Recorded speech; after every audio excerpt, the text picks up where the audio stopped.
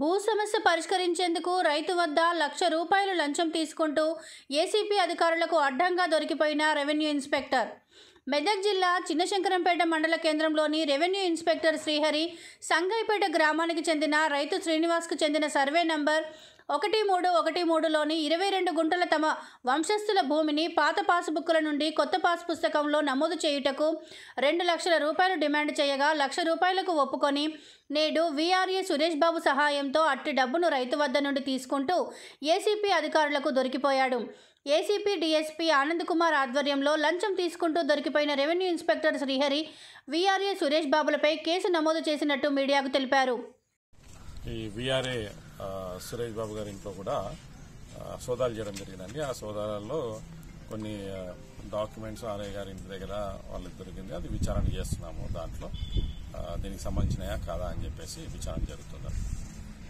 RI గారిని మరియు సురేష్ బాబు గారు ఇద్దరు కూడా అరెస్ట్ చేయడం జరిగిందండి. వాళ్ళని హైదరాబాద్ కోర్టులో ఏసీబీ స్పెషల్ కోర్టు ఉంది కదా ఆ కోర్టులో ప్రొడ్యూస్ చేయడం జరుగుతుంది. ఇక్కడ ఆర్ఐ రెవెన్యూ ఇన్స్పెక్టర్ శంకరంపేట మండలిలో నెల్లి శ్రీహరి గారి పోయినప్పుడు ఆయన సరే నేను చేపిస్తాను కానీ దీనికి దాదాపు రెండు లక్షల రూపాయలు ఖర్చు అవుతుందని చెప్పి చెప్పడం జరిగింది. చెప్తే ఆయన రెండు లక్షల రూపాయలు అంత చాలా ఎక్కువ అవుతుంది ఇచ్చుకోలేను అది ఇది అని చెప్పేసి రిక్వెస్ట్ చేసుకున్నారంట. రిక్వెస్ట్ చేసుకోవడం కాకుండా దాంట్లో ఆయన ఏమనంటే ఆల్రెడీ నేను ఒక ల్యాండ్ కొనుక్కున్నాను నీ ల్యాండ్ పక్కనే అడ్జసెంట్లో నా ల్యాండ్ ఉన్నది. అది పద్దెనిమిది గజాల భూమి ఉంది దాంట్లో. ఆ పద్దెనిమిది గజాల భూమి ఎట్లయినా నాకు అవసరము. దాదాపు నాకు అబ్జర్వ్లోనే ఉన్నట్టు ఉన్నది అది. ఆ పద్దెనిమిది గజాల భూమి యొక్క వాల్యూ ఎంత అవుతుందో ఆ వాల్యూ తీసేసి రెండు లక్షల కింద మిగతాది నాకు ఇచ్చేసి నేను చేపిస్తాను పని అని చెప్పి. అంటే ఆయన సార్ నా దగ్గర అంత డబ్బులు లేవు ఇప్పుడు నేను చేయలేను. అది ఏదంటే అంటే ఇక రిక్వెస్ట్ చేశాక సరే నేను ఫస్ట్ పని చేపిస్తాను దాని తర్వాత డబ్బులు ఇవ్వమని చెప్పి చెప్పాను అట్లాగే కొన్ని రోజులు అయిన తర్వాత పని జరిగింది. ఇరవై రెండు గుంటల భూమి ఆయన యొక్క పట్టా పాస్బుక్లో యాడ్ అవ్వడం జరిగింది. జరి అంటే ఆరో ఆరులో రిప్రింట్ అయింది. ఇక పట్టా పాస్బుక్ కూడా ఇష్యూ అవుతుంది తెలిసింది మనకి ఇట్లా ఇరవై రెండు గుంటలు అలా యాడ్ అవ్వడం జరిగిందని ఆరో ఆరు ప్రకారం అని కంప్లైంట్కి తెలిసింది. తెలిసిన తర్వాత కంప్లైంట్ సైలెంట్ ఉన్నాడు కానీ మళ్ళీ ఇతను తెలిసిన వాళ్ళ ద్వారా అతను డైరెక్ట్గా ఫోన్ చేయడం ద్వారా అది ఇది మళ్ళీ ఈయనని అరెస్ట్ చేయడం మొదలుపెట్టాడు. ఆ డబ్బులు ఇచ్చేసామని చెప్పేసి. అట్లా అరెస్ట్ చేయడం మొదలు పెడితే ఇతను ఇక ఆయన మన దగ్గరికి ఏసీబీ వారి దగ్గరికి అప్రోచ్ చేయడం జరిగింది.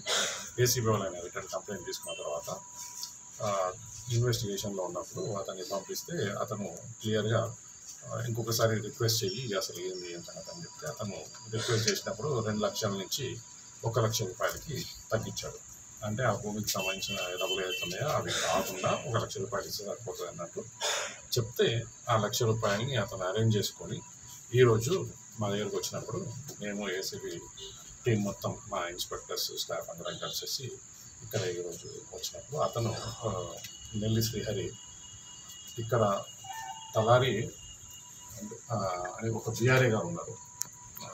సురేష్ అని చెప్పి సురేష్ బాబు అని ఒక బీఆర్ఏ గారు ఉన్నారు. ఆయన చందంపేటలో బీఆర్ఏ ఆయన సహాయం తీసుకొని కంప్లైంట్ని నన్ను బయటికి రా అని చెప్పేసి అంటే కంప్లైంట్ బయటికి పోతున్నప్పుడు బయట ఒక రోడ్డు మీద ఆగి ఆ, సురేష్ అనే బీఆర్ఏ గారిని సురేష్ అనే బీఆర్ఏ గారిని డబ్బులు తీసేసుకున్న కంప్లైంట్ అని చెప్పేసి అక్కడ పక్కన ఉండి ఆయన తీసుకోవడం జరిగింది. తీసుకున్న తర్వాత ఇమీడియట్గా బండి మీద కూర్చొని వాళ్ళు పడుకోవడానికి ప్రయత్నిస్తుంటే మేము ఏసీబీ వాళ్ళము మా యొక్క స్టాఫ్ సహాయంతో వాళ్ళని అడ్డగించి ఆపి ఏదైతే లక్ష రూపాయలు ఉన్నాయో అది రికవరీ చేసుకోవడం జరిగింది.